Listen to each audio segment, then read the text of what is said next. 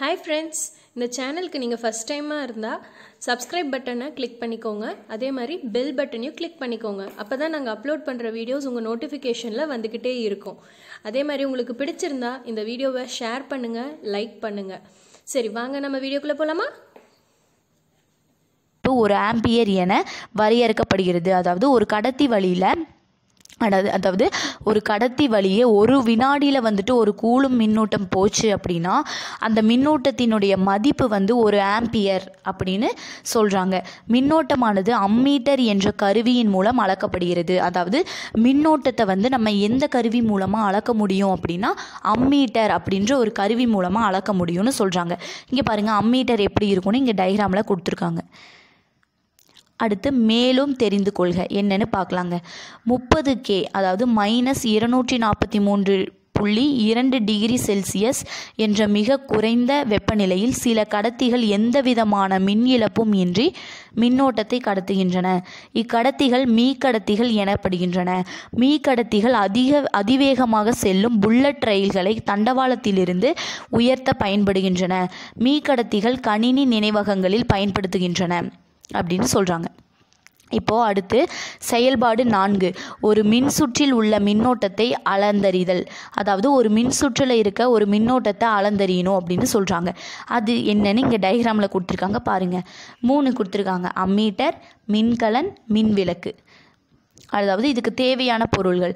மின்கல அடுக்கு அம்மீட்டர் மற்றும் மின்விளக்கு. இது தாங்க இதுக்கு தேவையான பொருள். எப்படி செய்யறது அப்படிங்கிறத பார்க்கலாம். மின்கல அடுக்கு அம்மீட்டர் மற்றும் மின்விளக்கு ஆகியவற்றை படத்தில் காட்டியுள்ளவாறு தொடராக இணைக்க வேண்டும். சாவியை இயக்கி சுற்றின் வழியே மின்னோட்டம் பாயுமாறு செய்ய வேண்டும். தற்போது அம்மீட்டர் காட்டும் அளவை குறித்து கொள்ள வேண்டும். இதுவே மின்சுற்றில் பாயும் மின்னோட்டம் ஆகும் அப்படின்னு சொல்லியிருக்காங்க. இது தாங்க செய்முறை. அடுத்து பொருளின் அளவு. அதாவது பொருளினுடைய அளவு என்னன்னு பார்க்கலாங்க. கீழ்காணும் படத்தில் உள்ள தாமிர நாணயங்களின் எண்ணிக்கையை கூற இயலுமா? அப்படின்னு கேட்டிருக்காங்க. அதாவது கீழே கொடுத்துருக்க ஒரு தாமிர நாணயங்கள் நாலு நாணயங்கள் கொடுத்துருக்காங்க. அதனுடைய எண்ணிக்கை வந்து நம்மளுக்கு தெரியுமா? அப்படின்னு கேட்குறாங்க ஒரு நாணயத்தில் உள்ள தாமிர அணுக்களின் எண்ணிக்கையை கூற இயலுமா? அப்படின்னு கேட்டிருக்காங்க. என்னன்னு பார்க்கலாம். அணுக்களை நாம் வெற்று கண்ணால் காண முடியாது என்பதால் அணுக்களின் எண்ணிக்கையை நேரடியாக கண்டறிவது இயலாது. அதாவது அணுக்களின் அதாவது அணுக்களை வந்து நம்ம நம்மளுடைய கண்ணால் பார்க்க முடியாது.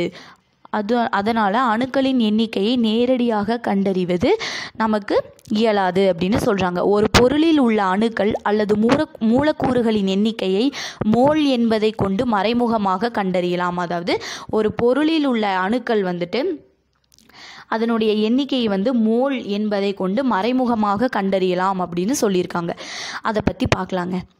பொருளின் அளவு என்பது ஒரு பொருளில் உள்ள துகள்களின் எண்ணிக்கையின் அளவாகும். அதாவது பொருளினுடைய அளவு அப்படிங்கிறது என்னன்னா ஒரு பொருளில் உள்ள துகள்களின் எண்ணிக்கை. அதாவது ஒரு பொருளின் அளவு என்ன அப்படின்னா ஒரு பொருளில் உள்ள துகள்களின் அளவாகும் அப்படின்னு சொல்கிறாங்க இங்கு அணுக்கள் மூலக்கூறுகள் அயனிகள் எலக்ட்ரான்கள் மற்றும் புரோட்டான்கள் போன்றவை துகள்கள் எனப்படுகின்றன. அதாவது துகள்கள்னால் என்னென்னன்னு பார்க்கலாங்க. மூலக்கூறுகள் அயனிகள் எலக்ட்ரான்கள் மற்றும் புரோட்டான்கள் போன்றவை துகள்கள் எனப்படுகின்றன. பொதுவாக பொருளின் அளவானது அணுக்கள் அல்லது மூலக்கூறுகளின் எண்ணிக்கையை நேர்த்தகவில் இருக்கும்.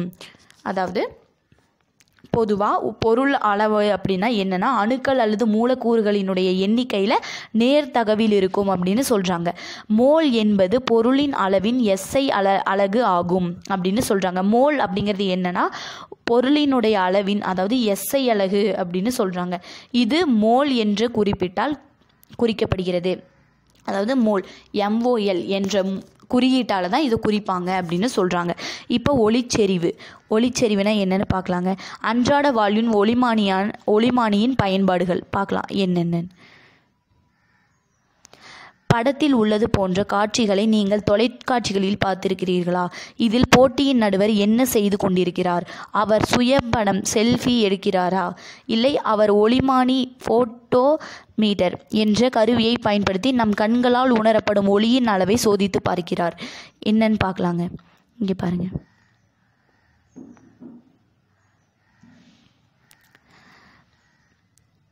ஒளிச்செறிவு வரையறை. அதாவது ஒளி மூலத்திலிருந்து ஒரு குறிப்பிட்ட திசையில் ஓரலகு திண்ம கோலத்தில் வெளிவரும் ஒளியின் அளவு ஒளிச்செறிவு எனப்படும். அதாவது ஒளி மூலத்தில் இருந்து அதாவது ஒளி அதனுடைய மூளை அதாவது அதனுடைய மூளையில இருந்து ஒரு குறிப்பிட்ட திசையில் ஓரலகு திண்ம கோலத்தில் வந்து வெளிவரும். அந்த ஒளியினுடைய அளவு தான் ஒளிச்செறிவு அப்படின்னு சொல்கிறாங்க ஒளிச்செறிவின் எஸ்ஐ அலகு கேண்டிலா ஆகும். அதாவது ஒளிச்செறிவினுடைய எஸ்ஐ அழகு வந்து கேண்டிலா அப்படின்னு சொல்கிறாங்க இதனை சிடி என்ற குறியீட்டால் குறிக்கலாம். பொதுவாக எரியும் மெழுகுவர்த்தி ஒன்று வெளியிடும் ஒளியின் அளவு தோராயமாக ஒரு கேண்டிலாவிற்கு சமமாகும். அதாவது எரியிற மெழுகுவர்த்தி வந்து ஒன்று வெளியிடும் ஒளியின் அளவு தோராயமாக ஒரு கேண்டிலாவிற்கு சமமாகும் அப்படின்னு சொல்கிறாங்க அதாவது இப்போ என்னென்னா ஒளிமானி அதாவது ஃபோட்டோமீட்டர் அப்படின்னா என்னென்னு பார்க்கலாம். ஃபோட்டோமீட்டர் அல்லது ஒளிச்செறிவு மானி அதாவது லூமினஸ் இன்டென்சிட்டி மீட்டர் என்பது ஒளிச்செறிவினை நேரடியாக கேண்டிலா அலகில் அளவிடும் கருவியாகும். இதுதாங்க ஒளிமானி. பாருங்கள் இப்படி தான் இருக்கும். அடுத்து தகவல் துளிகள் என்னென்னு தெரிஞ்சுக்கலாம்.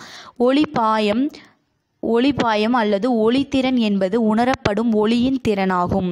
இதன் எஸ்ஐ அலகு லுமென் அதாவது லுமென் ஆகும். ஒரு ஸ்ட்ரேடியன் ஒரு ஸ்ட்ரேடியன் திண்ம கோணத்தில் ஒரு கேண்டிலா ஒளிச்செறிவுடைய ஒளியை ஒரு ஒளி மூலம் வெளியிடுமானால் அவ்வொளி மூலத்தின் திறன் ஒரு லுமென் என வரையறுக்கப்படுகிறது. இதெல்லாம் ரொம்ப இம்பார்ட்டன்ட்ங்க எக்ஸாம்ஸில் கேட்கறதுக்கான வாய்ப்புகள் நிறைய இருக்குது நோட் பண்ணிக்கோங்க. தலக்கோணம். அதாவது தலக்கோணம் அப்படின்னா என்னன்னு பார்க்கலாங்க. இது நேர்கோடுகள் அல்லது இரு தளங்களின் குறுக்கு வெட்டினால் உருவாகும் கோணம் தலக்கோணம் எனப்படும்.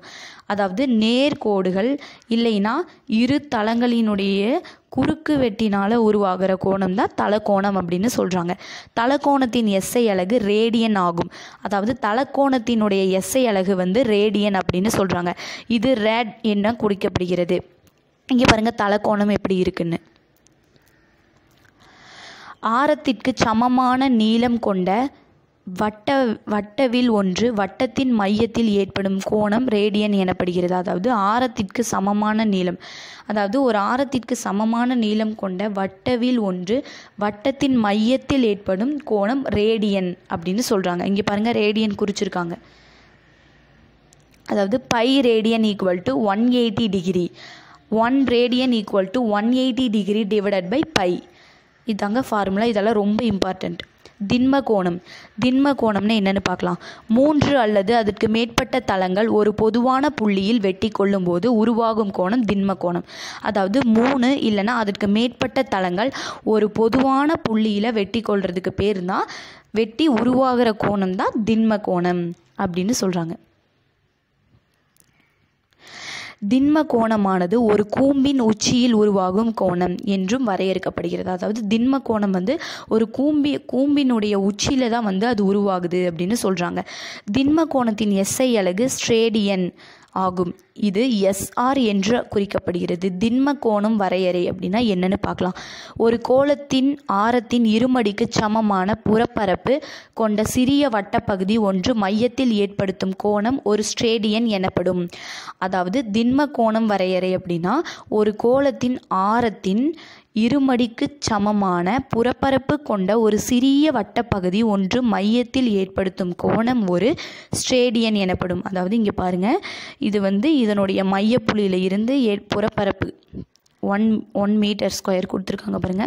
இங்கே பாருங்க ஒன் ஸ்ட்ரேடியன் ஆரம் வந்து ஒன் மீட்டர் இப்போது ஆயிரத்தி தொள்ளாயிரத்தி ஐம் ஐந்தாம் ஆண்டு வரையில் தலக்கோணம் மற்றும் திண்ம கோணம் ஆகியவை துணை அளவுகள் என தனியாக வகைப்படுத்தப்பட்டிருந்தன. ஆயிரத்தி தொள்ளாயிரத்தி தொண்ணூற்றி ஐந்தாம் ஆண்டில் இவை வழி அளவுகள் பட்டியலில் சேர்க்கப்பட்டுள்ளன. இதெல்லாம் ரொம்ப இம்பார்ட்டண்ட்டுங்க பார்த்துக்கோங்க. அடுத்து அட்டவணை அதாவது தலக்கோணம் மற்றும் திண்ம கோணம் வேறுபாடு என்னென்னு பார்க்கலாம். அதாவது தலக்கோணம் திண்மக்கோணம் தலக்கோணம் என்னன்னு பார்க்கலாம். இரு கோடுகள் அல்லது இரு தளங்கள் வெட்டி கொள்வதால் உருவாகும் கோணம் தலக்கோணம் அப்படின்னு சொல்கிறாங்க திண்ம கோணம் மூன்று அல்லது அதற்கு மேற்பட்ட தளங்கள் ஒரு பொதுவான புள்ளியில் வெட்டி கொள்வதால் உருவாகும் கோணம் திண்ம கோணம் இப்போது இது இரு பரிமாணம் கொண்டது. எது? தலக்கோணம் வந்து இரு பரிமாணம் கொண்டது திண்ம கோணம் முப்பரிமாணம் கொண்டது. தலக்கோணம் வந்து தலக்கோணமுடைய அழகு வந்து என்னன்னா ரேடியன் திண்ம கோணத்தினுடைய அழகு வந்து ஸ்ட்ரேடியன். அடுத்து கடிகாரங்கள். கடிகாரங்கள் என்னன்னு பார்க்கலாங்க. கால இடைவெளியை அளவிடுவதற்கு கடிகாரங்கள் பயன்படுகின்றன. அதாவது காலத்தினுடைய இடைவெளியை வந்துட்டு அளவிடுறதுக்கு வந்து கடிகாரம் வந்து பயன்படுது அப்படின்னு சொல்கிறாங்க காலத்தினுடைய இடைவெளியை வந்து அறியறதுக்கு கடிகாரம் வந்து பயன்படுதுன்னு சொல்கிறாங்க பண்டைய காலத்திலிருந்து பல்வேறு விதமான கடிகாரங்கள் பயன்படுத்தப்பட்டு வருகின்றன. அதாவது பண்டைய காலத்தில் இருந்து பல்வேறு விதமான கடிகாரங்களை வந்து பயன்படுத்திட்டு வராங்க. காலத்தை துல்லியமாக கணக்கிடுவதற்கான அறிவியல் அறிஞர்கள் கடிகாரம் செயல்படும் பழங்கால முறைகளில் பல்வேறு கடிகாரம் மாற்றங்களை செய்துள்ளனர். அதாவது காலத்தினுடைய காலத்தை துல்லியமாக கணக்கிடுவதற்காக அறிவியல் அறிஞர்கள் கடிகாரம் செயல்படும் முறைகளில் பல்வேறு மாற்றங்களை செய்தனர். இதாங்க பழங்கால கடிகாரம். அடுத்து காட்சியின் அடிப்படையில் கடிகாரத்தின் வகைகள் அதாவது பேஸ்டு ஆன் டிஸ்ப்ளே ஒப்புமை வகை கடிகாரங்கள் எண்ணிலக்க வகை கடிகாரங்கள். இரண்டு இருக்குது அப்போது முதலாவதாக ஒப்புமை வகை கடிகாரங்கள் அதாவது அனலாக் கிளாக்ஸ் அப்படின்னா என்னென்னு பார்க்கலாம். இவை பாரம்பரியமான கடிகாரங்களை ஒத்தி ஒத்திருக்கின்றன. இது மூன்று குறிமுள்கள் மூலம் நேரத்தை காட்டுகின்றன. அதாவது மூன்று குறிமுள்கள் என்னென்னு பார்க்கலாம். மணிமுள் மணிமுள்னா என்ன? இது குட்டையாகவும் தடிமனாகவும் அமைந்திருக்கும். இது கடிகாரத்தில் மணியை ஹவர் காட்டுகிறது ஹார் காட்டுகிறது. இங்கே பாருங்கள் இந்த சின்ன முள் தான் என்ன ஹார்னு காட்டுது. இதுதான் ஒப்புமை வகை கடிகாரம். அது அடுத்து நிமிடமுள். நிமிடமுள் வந்து இது நீளமாகவும் மெல்லியதாகவும் இருக்கும். இது நிமிடத்தை காட்ட உதவுகிறது. இதுதான் நிமிடமுள். அடுத்து வினாடி முள் இது நீளமாகவும் மிகவும் மெல்லியதாகவும் இருக்கும். இது வினாடியை குறிக்கிறது. இது ஒரு நிமிடத்திற்கு ஒரு முறையும் ஒரு மணிக்கு அறுபது முறையும் கடிகாரத்தை சுற்றி வருகிறது. இவ்வகை கடிகாரங்கள் எந்திரவியல் தொழில்நுட்பம் அல்லது மின்னியல் தொழில்நுட்பத்தை அடிப்படையாக கொண்டு செயல்படும் வகையில் உருவாக்கப்படுகின்றன அப்படின்னு சொல்லியிருக்காங்க. செயல்பாடு ஐந்து. மாணவர்கள் ஒப்புமை வகை கடிகாரத்தின் மாதிரியை அட்டையை பயன்படுத்தி உருவாக்க வேண்டும். அதாவது எண்ணிலக்க வகை கடிகாரங்கள் இரண்டாவது வகை. என்னன்னு பார்க்கலாம். இதுதாங்க எண்ணிலக்க வகை கடிகாரங்கள் இதையெல்லாம் நம்ம எங்கே பார்க்க முடியும் அப்படின்னா ரயில்வே ஸ்டேஷன்ஸ் இங்கெல்லாம் பார்க்க முடியும். இவை நேரத்தை நேரடியாக காட்டுகின்றன. இவை நேரத்தை எண்களாகவோ அல்லது குறியீடுகளாகவோ காட்டுகின்றன. அதாவது இங்கே பாருங்கள் எண்ணு இல்லைன்னா குறியீடால் காட்டுது அப்படின்னு சொல்கிறாங்க இவை பன்னெண்டு மணி நேரம் அல்லது இருபத்தி ம நான்கு மணி நேரத்தை காட்டும் வகையில் வடிவமைக்கப்படுகின்றன. தற்கால கடிகாரங்கள் நாள் கிழமை மாதம் ஆண்டு வெப்பநிலை போன்றவற்றை காட்டக்கூடியவைகளாக உள்ளன அப்படின்னு சொல்கிறாங்க டெக்னாலஜி வந்து வளர்ந்துட்டே வருது. எண்ணிலக்க வகை கடிகாரங்கள் பொதுவாக மின்னியல் கடிகாரங்கள் என அழைக்கப்படுகின்றன. அதாவது எண்ணிலக்க வகை கடிகாரங்கள் வந்து என்னென்னா பொதுவாக மின்னியல் கடிகாரம் அப்படின்னு சொல்கிறாங்க அடுத்து வந்து செயல்பாடு ஆறு. மாணவர்கள் தீக்குச்சிகளை ஒரு அட்டையின் மேல் வைத்து நாள் மற்றும் நேரத்தை காட்டும் எண்ணிலக்க வகை கடிகாரத்தை உருவாக்கிட வேண்டும். அடுத்து செயல்படும் முறையின் அடிப்படையில் கடிகாரத்தின் வகை. அதாவது செயல்படுற முறையில் அடிக அடிப்படையில் கடிகாரத்தினுடைய வகைகள் என்னென்னு பார்க்கலாங்க. பேஸ்டு ஆன் ஒர்க்கிங் மெக்கானிசம் அடுத்தது குவார்ட்ஸ் கடிகாரங்கள். இவை குவார்ட்ஸ் எனப்படும் படிக்கத்தினால் கட் கட்டுப்படுத்தப்படும் மின்னணு அலைவுகள் அதாவது எலக்ட்ரானிக் ஓசிலேஷன் மூலம் இயங்குகின்றன. இப்படி இப்படி அதிர்வுகளின் அதிர்வெண்ணானது மிக துல்லியமான எனவே குவாட்ஸ் கடிகாரங்களில் இந்த இயந்திரவியல் கடிகாரங்களை விட மிகவும் துல்லியமானவை. இக்கடிகாரங்கள் துல்லிய தன்மையானது. ஒன் பவர் நயன் வினாடிக்கு ஒரு வினாடி என்ற அளவில் இருக்கும். இது வந்து ஒரு மின்னணு அலைவுகள் அதாவது எலக்ட்ரானிக் ஓசிலேஷன் மூலம் இயங்குது அப்படின்னு சொல்கிறாங்க மேலும் அறிந்து தெரிந்து கொள்கை என்னன்னு பார்க்கலாம். குவாட்ஸ் கடிகாரங்களில் படிக்கத்தின் அழுத்த மின் பண்பு பீசோ எலக்ட்ரானிக் டை என்ற தத்துவம் பயன்படுத்தப்படுகிறது. படிகத்தின் அழுத்த மின்விளைவு என்பது படிகத்தின் குறிப்பிட்ட அச்சு ஒன்றின் வழியே அழுத்தத்தை ஏற்படுத்தினால் அதற்கு செங்குத்தான அச்சில் மின்னழுத்த வேறுபாடு உருவாகும் விளைவு ஆகும். படிகத்தின் எதிர் அழுத்த மின் மின்விளைவின் ரிவர்ஸ் பீசோ எலக்ட்ரானிக் எஃபெக்ட். போது படிகத்தின் இரு எதிரெதிர் பக்கங்களுக்கிடையே மின்னழுத்த வேறுபாடு செயல்படுத்தப்பட்டால் படிகமானது இயந்திரவியல் தகவைக்கு உட்படுத்தப்படுகிறது. இதெல்லாம் ரொம்ப இம்பார்ட்டன்ட்ங்க தெரிஞ்சுக்கோங்க. அணுக்கடிகாரங்கள் அப்படின்னா பார்க்கலாம். இக்கடிகாரங்கள் அணுவினுள் ஏற்படும் அதிர்வுகளை அடிப்படையாக கொண்டு செயல்படுகின்றன. அதாவது இந்த இந்த மாதிரி கடிகாரம் வந்து ஒரு அணுவினால ஏற்படுற அதிர்வுகளை வச்சு தான் இந்த மாதிரி கடிகாரங்கள் வந்து செயல்படுதுன்னு சொல்கிறாங்க இங்கே பாருங்கள் அணு கடிகாரம் இப்படி தான் இருக்கும். இது பத்து பவர் பதிமூன்று வினாடிக்கு ஒரு வினாடி என்ற அளவில் துல்லிய தன்மை கொண்டவை. இவை பூமியில் இருப்பிடத்தை காட்டும் அமைப்பு ஜிபிஎஸ் பூமியில் வழிகாட்டும் செயற்கைக்கோள் அமைப்பு ஜிஎல்ஓ என்ஏஎஸ்எஸ் மற்றும் பன்னாட்டு நேர்பங்கீட்டு அமைப்பு ஆகியவற்றில் பயன்படுத்தப்படுகிறது. அப்படின்னு சொல்லியிருக்காங்க. மேலும் தெரிந்து கொள்வோம். என்ன சொல்லியிருக்காங்கன்னா முதன் முதலில் அணுக்கடிகாரமானது ஆயிரத்தி தொள்ளாயிரத்தி நாற்பத்தி ஒன்பதாம் ஆண்டு அமெரிக்காவின் தேசிய தர நிர்ணய கல கழகத்தால் உருவாக்கப்பட்டது. ஆனால் அதன் துல்லிய தன்மை குவார்ட்ஸ் கடிகாரத்தை விட குறைவாக இருந்தது. சிசிஎம் நூற்றி முப்பத்தி மூன்று அணுவை அடிப்படையாக கொண்டு செயல்படும் துல்லியமான அணு அணுக்கடிகாரம் ஆயிரத்தி தொள்ளாயிரத்தி ஐம்பத்தி ஐந்தாம் ஆண்டு லூப் லூயிஸ் ஈசான் மற்றும் ஜாக் பென்னி ஆகியோரால் இந்தி இங்கிலாந்தின் தேசிய இயற்பியல் ஆய்வகத்தில் உருவாக்கப்பட்டது. செயல்பாடு ஏழு. மாணவர்கள் தாங்களாகவே ஒரு சூரிய கடிகாரத்தை உருவாக்கி காலை முதல் மாலை வரை நேரத்தை குறித்து வைக்க வேண்டும். இந்த மதிப்புகளை நவீன கடிகாரங்களின் மதிப்புகளுடன் ஒப்பிடச் சரிபார்க்க வேண்டும் அப்படின்னு சொல்லியிருக்காங்க. இங்கே பாருங்கள் துல்லியத்தன்மை மற்றும் நுட்பம். எப்படி இருக்குன்னு பாருங்கள் இந்த டயக்ராம்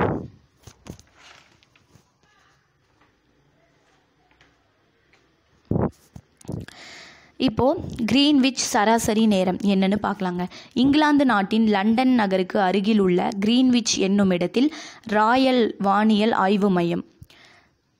அமைந்துள்ளது. இம்மையத்தின் வழியாக செல்லும் தீர்க்க கோடானது தொடக்க கோடாக கொள்ளப்படுகிறது. அதாவது இந்த மைய இந்த வழியாக மையத்தில் செய்ய செல்கிற வந்து தீர்க்க கோடை வந்து நம்ம வந்து என்ன கோடாக வச்சுக்கிறோம் அப்படின்னா தொடக்க கோடாக வந்து வச்சுக்குது. அதாவது ஜீரோ டிகிரி. புவியானது பதினைந்து டிகிரி இடைவெளியில் அமைந்த தீர்க்க கோடுகளின் அடிப்படையில் இருபத்தி நான்கு மண்டலங்களாக பிரிக்கப்பட்டுள்ளது. இவை நேர மண்டலங்கள் அதாவது டைம் ஜோன்ஸ் என்று அழைக்கப்படுகின்றன. இரு அடுத்தடுத்த நேர மண்டலங்களுக்கு இடையே உள்ள கால இடைவெளி ஒரு மணி நேரம் ஆகும் இந்திய திட்ட நேரம் அதாவது இந்தியன் ஸ்டாண்டர்ட் டைம் என்னன்னு பார்க்கலாம். இந்தியாவின் உத்தரப்பிரதேச மாநிலத்தில் உள்ள பிர்சாஃபூர் மிர்சாஃபூர் என்ற இடத்தின் வழியாக செல்லும் தீர்க்க கோட்டை ஆதாரமாக கொண்டு இந்திய திட்ட நேரம் கணக்கிடப்படுகிறது. இக்கோடானது இம் எண்பத்தி இரண்டு புள்ளி ஐந்து டிகிரி கிழக்கில் செல்லும் தீர்க்க கோட்டில் அமைந்துள்ளது. இந்திய திட்ட நேரம் ஈக்குவல் டு கிரீன்விச் சராசரி நேரம் ப்ளஸ் ஐந்தரை மணி அதாவது ஐந்து முப்பது மணி அப்படின்னு சொல்லியிருக்காங்க. இதெல்லாம் ரொம்ப முக்கியங்க. அளவிடுதலில் துல்லியத்தன்மை எப்படின்னு பார்க்கலாம். அறிவியல் மற்றும் தொழில்நுட்ப துறையில் மேற்கொள்ளப்படும் அனைத்து ஆய்வுகளுக்கும் அளவீடுகள் அடிப்படையாக அமைகின்றன. அதாவது அறிவியல் மற்றும் தொழில்நுட்ப துறையில் மேற்கொள்கிற ஆய்வுகள் வந்து அளவீடுகள் வந்து அடிப்படையாக வச்சுருக்காங்க. ஒவ்வொரு அளவீட்டின் போது கிடைக்கப்பெறும் மதிப்புகளில் சில நிலையற்ற தன்மை காணப்படுகிறது. இது நிலையற்ற தன்மை பிழைகள் எனப்படும் அதாவது பிழைகள் வந்து ஏற்படுறது தான் வந்து நிலையற்ற தன்மை அப்படின்னு சொல்கிறாங்க சோதனை மூலம் கண்டறியப்பட்ட மதிப்புக்கும் உண்மையான மதிப்புக்கும் இடையே உள்ள வேறுபாடு பிழை எனப்படும். அதாவது சோதனை மூலமாக கண்டறியப்படுற மதிப்புக்கும் உண்மையான மதிப்புக்கும் இடையிலேயே இருக்கிற வேறுபாடு தான் பிழை அப்படின்னு சொல்கிறாங்க நுள்ளியத்தன்மை அக்யூரசி துல்லியத்தன்மை. சாரிங்க துல்லியத்தன்மை அக்யூரன்சி அப்படின்னா என்னன்னு பார்க்கலாம். துல்லியத்தன்மை என்பது கண்டறியப்பட்ட மதிப்பானது உண்மையான மதிப்பிற்கு எவ்வளவு நெருக்கமாக அமைந்துள்ளது என்பதை குறிக்கிறது. அதாவது துல்லியத்தன்மை அப்படிங்கிறது என்னன்னா நம்ம கண்டறியப்பட்ட மதிப்பானது உண்மையான மதிப்புக்கு எவ்வளவு நெருக்கமாக இருக்குது அப்படிங்கிறத பார்க்குறது தான் துல்லியத்தன்மை அப்படின்னு சொல்கிறாங்க நுட்பம் அதாவது ப்ரீசிஷியன் அப்படின்னா அளவிடுதலில் நுட்பம் என்பது மேற்கொள்ளப்படும் இரண்டு அல்லது அதற்கு மேற்பட்ட அளவீடுகள் ஒன்றுக்கொன்று எவ்வளவு அதிகமாக அமைந்துள்ளன என்பதை குறிக்கிறது. அதாவது நுட்பம்னா அளவிடுதலில் நுட்பம் என்பது மேற்கொள்ளப்படும் இரண்டு அல்லது அதற்கு மேற்பட்ட அளவீடுகள் ஒன்றுக்கு ஒன்று நெருக்கமாக அமைந்துள்ளது என்பதை குறிக்கிறது. இதுதான் நுட்பம். சிந்திக்க. உண்மை ம மதிப்பும் சோதனை மதிப்பும் கண்டறியப்பட்ட மதிப்பும் சமம் எனில் உண்மை மதிப்பு என்பது என்ன? உன் நண்பர்களுடன் விவாதிக்கவும். அடுத்து தோராயமாக்கல் அப்ராக்சிமேஷன் என்னன்னு பார்க்கலாம். அதில் வந்து செயல்பாடு எட்டு.